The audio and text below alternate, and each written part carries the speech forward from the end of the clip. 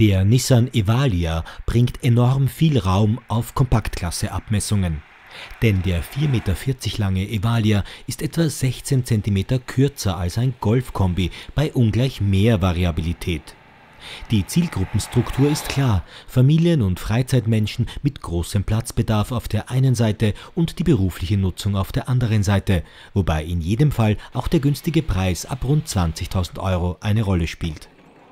Zwei praktische Schiebetüren erleichtern Zustieg und Zuladung von der Seite. Drei Sitzreihen für bis zu sieben Fahrzeuginsassen sind für Großfamilien ideal. Die übrigens aufpreispflichtige dritte Reihe besteht aus zwei seitlich hochklappbaren Sitzen. Je nach Version stehen bis zu 3100 Liter Stauraum zur Verfügung. Aufgrund der Fahrzeughöhe von 1,86 Meter ist zudem die Ladehöhe ebenso großzügig der Innenraum ist durchaus wohnlich und auch dank zahlreicher Ablagen sehr praktisch gestaltet. Im Testwagen war zudem die Sonderausstattung Nissan Connect installiert, die einen 5 Zoll Touchscreen samt Navi, Radio-CD-Kombi, USB-Schnittstelle, Bluetooth Audio-Streaming und Rückfahrkamera umfasst das Nutzfahrzeug-Feeling lässt sich aber nicht ganz verleugnen und auch das Fahrverhalten ist einigermaßen rustikal, hoppelt der Evalia im unbeladenen Zustand doch deutlich und auch die Geräuschdämmung könnte besser sein.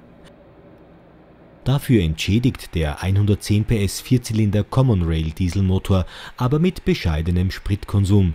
Der Testverbrauch betrug 6,2 Liter auf 100 Kilometer. Wer also mit den da und dort spürbaren Nutzfahrzeuggenen des Evalia leben kann, erhält ein außerordentlich geräumiges und vielseitiges Fahrzeug mit kompakten Abmessungen zum vernünftigen Preis.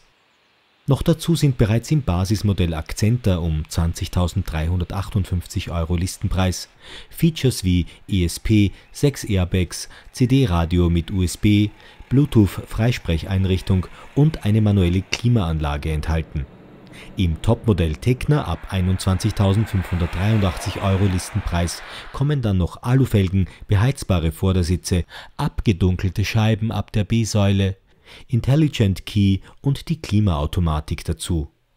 Als Motoren stehen ein 110 PS Benziner sowie zwei Diesel mit 90 und 110 PS zur Verfügung. Für manche wohl das entscheidende Kriterium, der Evalia ist vorsteuerabzugsfähig